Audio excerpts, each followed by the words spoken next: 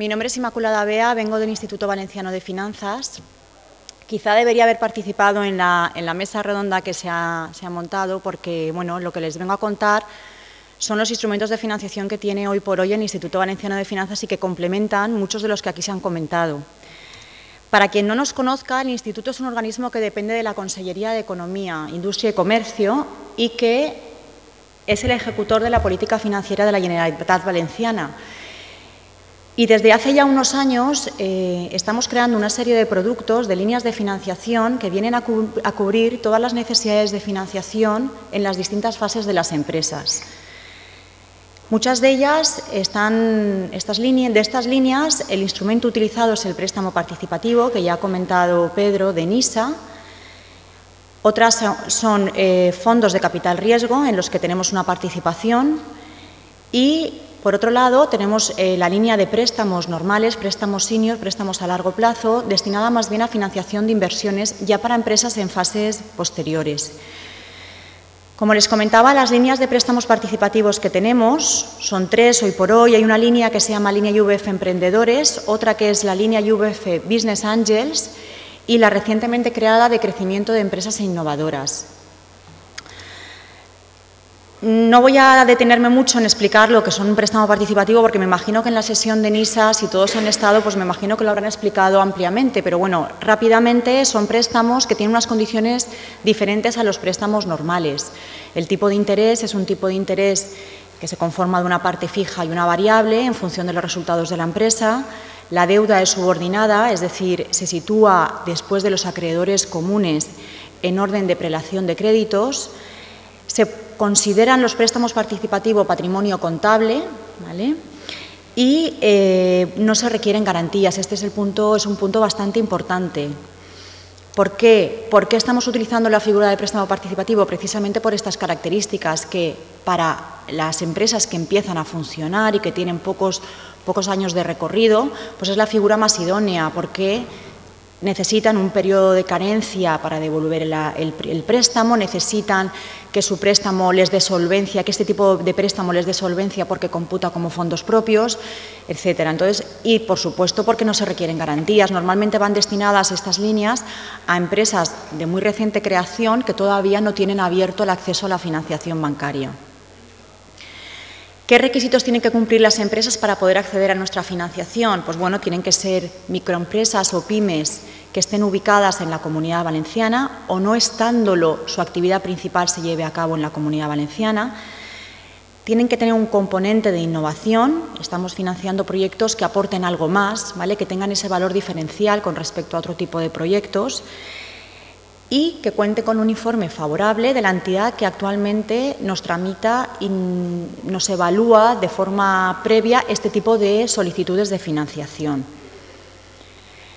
Nuestros préstamos pueden llegar hasta 300.000 euros, con plazos de hasta 10 años, con hasta 3 de carencia, tienen una comisión de apertura del 0,5, una comisión por cancelación anticipada de dos puntos, no tienen garantías y la aprobación, la formalización y el desembolso de las operaciones corre a cargo del propio instituto.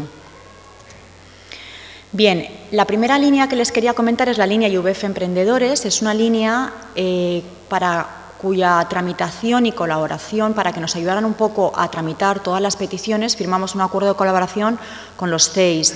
He visto que están en la, en la sala de exposición, en la sala de asesoramiento, ahí hay mesas de los CEIS, allí les podrán dar más detalles de cómo, de cómo se gestiona esta línea. Bien, pues los CEIS, que son los Centros Europeos de Empresas Innovadoras que ya conocen y que dependen de, del se ubican, bueno, hoy por hoy hay cuatro en la Comunidad Valenciana, como sabrán, en Valencia, Castellón y Alcoy, y lo que hacen es que recopilan la información de, la empresa que quiere solicitarnos la financiación, les ayudan incluso y les, eh, les ayudan incluso a elaborar el plan de negocios si esta empresa pues así lo solicitara y nos aportan toda esa documentación junto al documento de solicitud y, con un informe favorable de que han revisado esa información, que está toda y que ellos ven el proyecto eh, bueno, pues financiable o elegible para que nosotros lo estudiemos. Ellos, ellos básicamente validan que, el negocio, que el producto de la empresa tenga ese componente innovador, porque es lo suyo, a lo que se dedican, y validan un poco eh, el plan de negocio, ¿vale? Si ese producto tiene mercado, si, qué salida se le va a dar, todo esto pues un poco lo analizan y nos lo validan. También comentarles que estamos estudiando ampliar el número de colaboradores para tramitar esta línea a otros organismos. Estábamos pensando incluso en los parques científicos, para que se pudieran también canalizar proyectos a través de otras entidades colaboradoras. Esta línea en concreto, la línea emprendedores, el importe de los préstamos eh, está entre 20.000 y 100.000 euros. La empresa tiene que tener una antigüedad mínima de seis años y financiamos proyectos de empresa que se hayan creado hasta tres años antes. ¿vale? Es decir, que tienen que tener una antigüedad entre seis y tres años. Y el único requisito es que la empresa ponga el 15% en el capital social del importe de préstamo que nos solicita. Es un poco parecida a la línea de NISA de emprendedores, de jóvenes emprendedores. Como les he comentado, la tramitación a través de los CEIS. En nuestra página web ivf.es tienen pues, los links y tienen toda la información más detallada de todo lo que les voy a contar. Esta línea se puso en marcha, como han visto, creo que fue en noviembre del 2011 y en prácticamente un año hemos concedido, hemos aprobado 34 operaciones, eh, el importe medio del préstamo gira en torno a 115.000 euros y está teniendo bastante demanda la línea, ¿vale? Los seis están teniendo bastantes peticiones. Como ven, esta, línea se dotó con 5 millones de euros y estamos prácticamente agotándola, pero eh, como aspecto positivo se va a volver a renovar con otros 5 millones, es decir, existe eh, intención de continuidad con ella. La segunda línea que tenemos es la línea UBF Business Angels. Eh, esta línea está pensada para una fase un poco posterior. La, ponencia mía, un poco, el, orden en el que les voy a ir contando un poco los instrumentos que tenemos, siguen un poco de correlación con, el, con la con la fase de la empresa. ¿vale? Estamos pensando que la línea UBF Emprendedores está para unas fases muy iniciales, en la que la empresa está constituida, el promotor ha empezado a andar, ¿vale? pero necesita ese, ese empujón para el arranque. ¿vale? Sin embargo, la línea UBF Business Angels, en la que ya se contempla la entrada de un inversor privado, tampoco les explico lo que es un Business Angels porque ha quedado, ha quedado bastante explicado en las, en las charlas anteriores, en esta línea lo que pretendemos es entrar en la empresa, entrar a financiar la empresa también con un préstamo participativo de la mano de un inversor privado. Es decir, eh, el importe de nuestro préstamo igualará al importe en el que un inversor privado entre en la empresa. Bien, para gestionar esta línea hemos firmado acuerdos con la Asociación de Business Angels de la Comunidad Valenciana, CVBAN, y con una empresa, con una, sí, con una empresa aceleradora de proyectos eh, que se llama Business Booster. Esta Business Booster se dedica más mm, para temas de Internet y tecnológicos. Business no sé si conocen un poco el tema de las aceleradoras. Eh, eh, Business Booster tiene un programa de aceleración, ella selecciona proyectos que quiere acelerar para poner rápidamente en mercado y luego invierte en ellos. Pues bien, a través de, nuestra línea UBF Business Angels lo que hacemos es cofinanciar en esos proyectos para que el proyecto resulte más solvente. De igual forma, también estamos viendo la posibilidad de ampliar a otros posibles colaboradores para poder analizar y tramitar el mayor número de proyectos. La línea esta Business Angels, eh, el importe de los préstamos participativos es, giran entre 20.000 y 300.000 euros y el único, la única condición especial, aparte de la que les he comentado, es que, eh, como les he dicho, que exista un inversor privado por el mismo importe que por de nuestro préstamo. Hoy por hoy únicamente nos tramita la línea la Asociación de Business Angels de MOVAN y, y bueno, hay que contactar con ellos para explicarles el proyecto y que ellos un poco nos gestionen la línea. También es una línea que estuvo dotada con 5 millones de euros y a fecha actual hemos aprobado 24 operaciones por 4.300.000 euros. También estaba teniendo bastantes peticiones. Esta quizá un poco menos porque eh, el tema del inversor privado últimamente se ha parado un poquito, pero bueno, eh, yo creo que va a relanzarse la línea y de hecho siguen llegando los proyectos a través de ella. Bien, y por último, terminando lo que son los préstamos participativos, las líneas que tenemos de préstamos participativos, tenemos una tercera línea que ya está pensado en empresas en una fase un poco posterior, empresas que ya habiendo obtenido financiación en rondas anteriores, necesitan eh, fondos para abordar fases ya de crecimiento y expansión e internacionalización. ¿Vale? En las condiciones de esta línea pues ya llegan hasta 200.000 euros los préstamos, pero aquí la empresa ya tiene que acreditarnos pues ya un volumen de ventas eh, bueno, eh, significativo. Como digo, está pensado ya para empresas que han superado esas fases iniciales que ya hayan acudido a rondas de financiación previa y si tienen algún tipo de financiación nuestra, bueno, pues hay un límite en cuanto al, tope de financiación del instituto. De esta línea hemos concedido 12 operaciones por 2.400.000 euros. Como ven, em, tenemos fondos y, vamos a renovar estos fondos para abordar este tipo de financiaciones.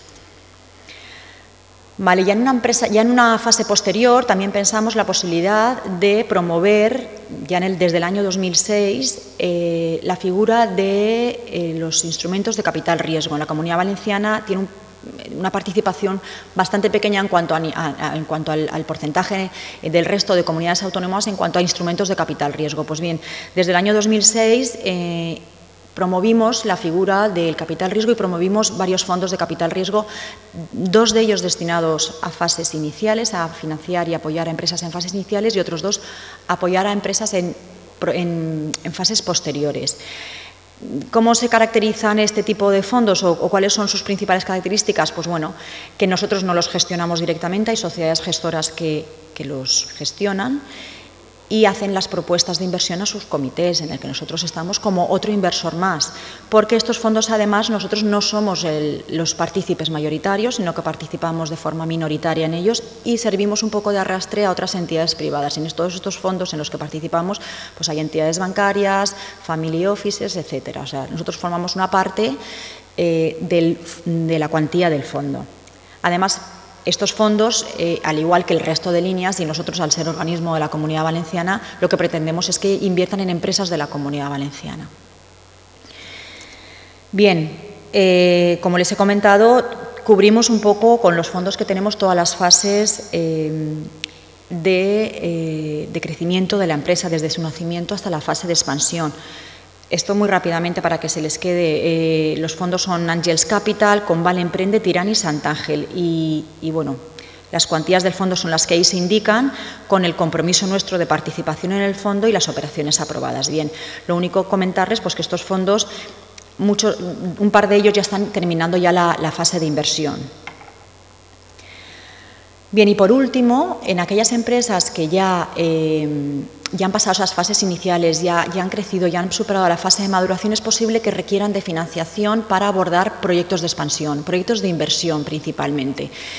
Esta línea, la línea IVF Apoyo Empresarial, es la línea que tradicionalmente tenía el Instituto mm, desde que se creó y es una línea destinada a financiar exclusivamente activos fijos. ¿vale? Es cuando una empresa pues, ya requiere de una ampliación, de, bueno, ya he superado las fases iniciales, yo estaba alquilado, ahora necesito comprarme un local o comprarme o ampliar la nave o ampliar eh, mi capacidad productiva, pues bueno, necesito un préstamo para financiar esas inversiones. Pues bueno, a través de esta línea podemos hacerlo. No, el instrumento utilizado en esta línea no es el préstamo participativo, es un préstamo normal a largo plazo que puede llegar hasta 15 años con hasta 3 años de carencia y el importe está entre 150.000 y un millón de euros. El tipo de interés es un tipo de interés normalmente de mercado, es un Euribor más un diferencial y también es posibilidades de tipo fijo. Entonces, eh, esta línea que va destinado pues, a financiar, como les he comentado, proyectos de inversión a llevar a cabo en la Comunidad Valenciana, no existen, no existen convocatorias ni para esta línea ni para las anteriores. En cualquier momento pueden acudir a nosotros para obtener financiación. No se abre una convocatoria y se cierra, sino que somos eh, una ventanilla abierta constantemente. El instituto se ubica físicamente en Valencia, pero pueden contactar pues, telefónicamente vía mail, ahora les daré la información y si no es www.iuf.es. Bien, para este tipo de operaciones eh, bueno, pues hay un departamento de riesgo que las estudia y que aprueba pues, un comité de inversiones. Y en, este, en las operaciones de inversión los préstamos son finalistas, es decir, desembolsamos a medida que la inversión se va llevando a cabo. Por otro lado, tanto en esta como en las otras líneas se valora muy positivamente el tema de la cofinanciación, es decir, que el proyecto venga también cofinanciado en la medida de lo posible pues por la entidad bancaria de referencia o por un ENISA o por un CDT o por un Caixa Capital Risk, etcétera. Todo lo que sea cofinanciar los proyectos es bastante importante y da bastante valor al proyecto. Bien, pues hasta aquí eh, espero que les hayan quedado claros. Estos son los instrumentos de financiación que tenemos. Si tienen cualquier pregunta, pues estoy a su disposición. Gracias.